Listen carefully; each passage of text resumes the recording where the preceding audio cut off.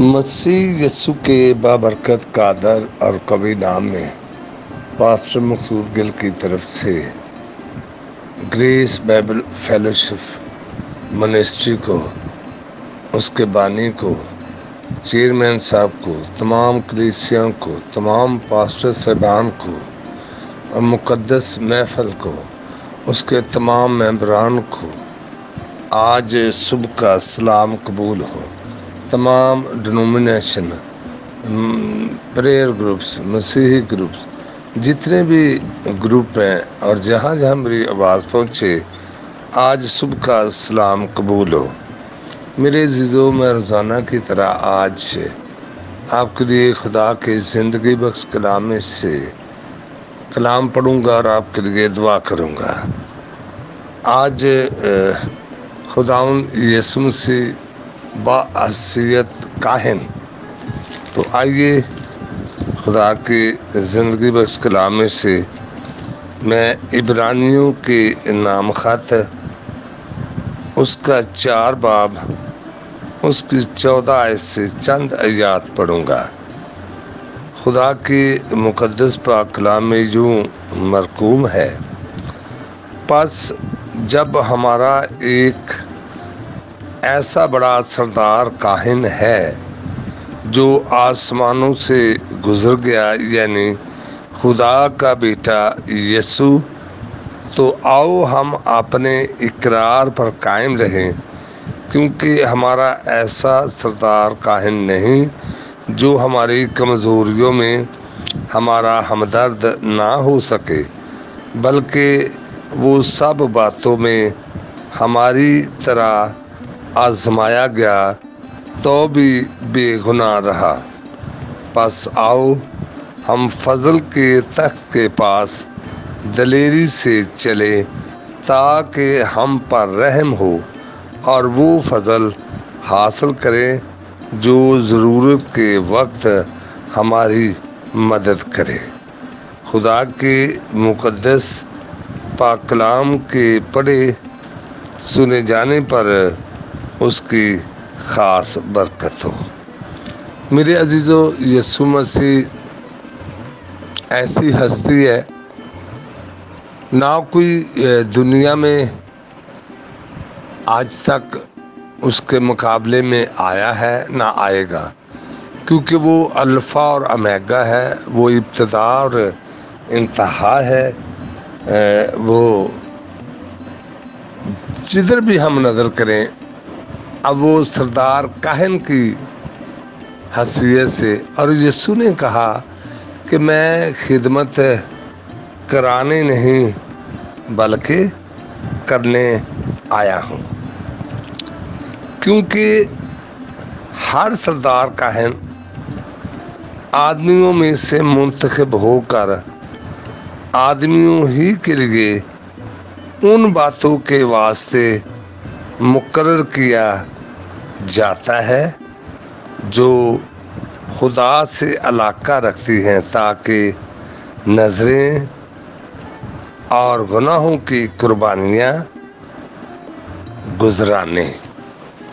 देखिए यसु मसीह इस दुनिया में आया ही इसलिए कि वो इंसान से प्यार करता है, मोहब्बत करता है तो इसलिए वो बेटे की सूरत में, खुदा के बेटे की सूरत में इस दुनिया में आकर उसने अपने आप को कुर्बान किया। यसु बाहसीत सरदार काहिन, बनी इसराइल की ज़िंदगी में सरदार काहिन का करदार बड़ा अहम रहा है। मूसा का भाई हारून, उनका पहला सरदार काहिन था, जो लावी के कबीला से था। उसके बेटे भी काहिन थे। सरदार काहिन लोगों में से चुने जाते थे, जो कौम के लिए खुदा के हजूर नज़रें और गुनाहों की कुर्बानियाँ गुजरानते थे अगर आप इब्रानी पाँच बार पहली आयत में अभी मैंने पढ़ा तो वो साल भर में एक बार हैकल में खुदा के हजूर पाक तरीन मकाम में बग़ैर खून के दाखिल ना होता और अहद के संदूक पर बर्रे के खून को उम्मत की भूल चूक के वास्ते छिड़कता। क्योंकि बग़ैर खून बहाए माफ़ी नहीं।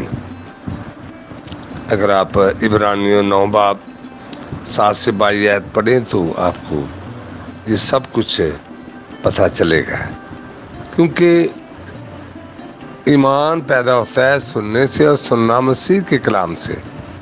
तो जब हम कलाम सुनते हैं, कलाम पढ़ते हैं तो हमें सब बातों का पता चलता है। हमारा सरदार कहन यसु मसीह बेहतर अहद का जामन है, जिसकी कहानत मुल्क सदक की तरह अबदी है। जो लोग उसके वसीला से खुदा के पास आते हैं, वो उन्हें पूरी पूरी निजात दे सकता है, क्योंकि वो उनकी शफायत के लिए हमेशा ज़िंदा है। मसीह खुदावन, उन कहनों की तरह का काहिन नहीं, जो हर रोज़ पहले अपने और फिर उम्मत के गनाहों के वास्ते कुर्बानियाँ चढ़ाए, बल्कि उसने अपने आप को खुदा के सामने एक बेऐब और बेदाग बर्रे की तरह कुर्बान कर दिया। यानी अपना ही खून लेकर पाक मकाम में एक ही बार दाखिल हो गया और अबदी खलासी करा दी। और नए अहद का दरमियानी और जामन बन गया। अब हम पूरे ईमान के साथ बड़े सरदार कहन यसु मसीह के खून के सबब से उस नई और ज़िंदा रात से पाक मकाम और फजल के तख्त के पास दलेरी से जा सकते हैं। सो खुदा यसु मसीह ने हमारी खातर अर्श को छोड़कर फ़र्ज़ पर आया। ये इब्रानियों का सारा ख़त जो है इसको हम गौर से पढ़ें तो हमें ये बात बड़े अच्छे तरीके से समझ में आ जाएगी कि यीशु मसीह सरदार काहिन भी है। इब्रानियों दस उन्नीस और चार सोलह के साथ है। अगर हम पढ़ते हैं, असल बात यह है कि जब तक हम मसीह को जानेंगे नहीं, उसके हुक्मों पर अमल नहीं करेंगे, तब तक हमें उसकी बादशाहत का पता नहीं चल सकता। तो मेरे अजीज़ों, आप रोज़ाना कलाम पढ़ें। अगर आप इब्रानियों का पूरा ख़ात जो पढ़ते हैं तो आपको इन बातों का पता चल सकता है। बग़ैर यस्सु पर ईमान लाए, हम बाप के पास नहीं जा सकते। यीशु मसीह ने यह कहा कि तुम खुदा पर ईमान रखते हो, मुझ पर भी रखो। मेरे चीज़ों, खुदा को आज तक किसी ने नहीं देखा। जिसने बेटे को देखा, उसने बाप को देखा। इसलिए मेरे चीज़ों आइए। हम यीशु मसीह पर ईमान लाकर, उसकी बादशाही में दाखिल हो सकते हैं। हमें मखल से मिल सकती है, हमें निजात मिल सकती है। तो आइए, हम उसे अपना शख्सी निजात दहिंदा कबूल करें और खुदा के आके झुके। मैं आपके लिए दुआ गो हूँ आइए हम दुआ करते हैं। बहरबर के खालिक और मालिक मसीह यसु में मेरे आसमानी बाप, बड़ी आजजी इनसारी से तेरे कदमों में से दरेज है। दिल की गहराइयों से तेरा शुक्र अदा करते हैं। तेरी दी नेमतों के लिए, बरकतों के लिए, बख्शों के लिए, ज़िंदगी के लिए, तंदरुस्ती के लिए। तू भला है, तेरी शफकत अबदी है, तेरी वफादारी पुश्त दर पुश्त है। तू हमें कभी भी अकेला नहीं छोड़ता, हमेशा हमारे साथ है। और खुदा खुदा ये सुनासरी तू सब कुछ है। तू बेटा भी है, तू मालक भी है, खुदावंदों का खुदावंद है, बादशाहों का बादशाह है तो काहिन भी है, इबन मरियम भी है, इबन खुदा भी है। यानी हर क्वालिटी यीशु मसीह में पाई जाती है। आइए उसको अपना शख्सी निजात दहिंदा कबूल करके उसकी बादशाही में दाखिल हो सके। आए मेरे खुदा, हम दिल से इकरार करते हैं कि तू ही हमारा शख्सी निजात दहिंदा है। तूने हमारी खातर अजियत की मौत बर्दाश्त की, हमें ख़रीद लिया, तेरा शुक्र करते हैं। पूरी दुनिया में जहाँ जहाँ तेरे लोग आबाद हैं, गैर अकवाम के लिए दुआ गो हैं कि वो तुझ पर ईमान लाकर हमेशा की ज़िंदगी पा सकें।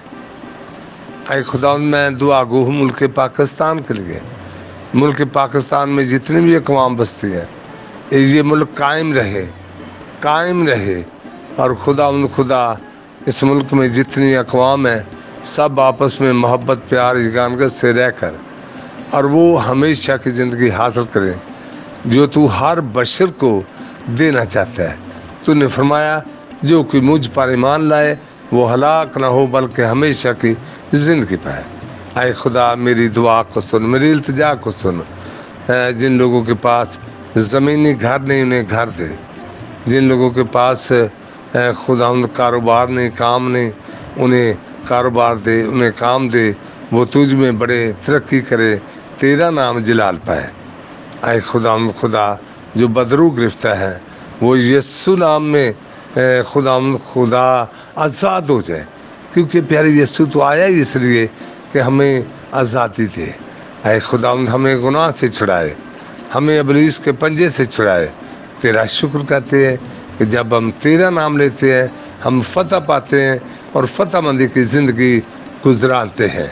सो खुदामंद रहम कर, हमारे साथ रह, जैसा तू मूसा के साथ था। और खुदा खुदा, तूने एक ही बार, प्यारे यीशु, हमारे लिए कुर्बान होकर हमें मखल से दी, हमें निजात दी, दिल की गहराइयों से तेरा शुक्र करते हैं। मेरी दुआ, मेरी इल्तजा तेरे हजूर, बाखूर की मान पहुँचे। मैं ये दुआ यस्सु नाम से माँगता हूँ। आमीन।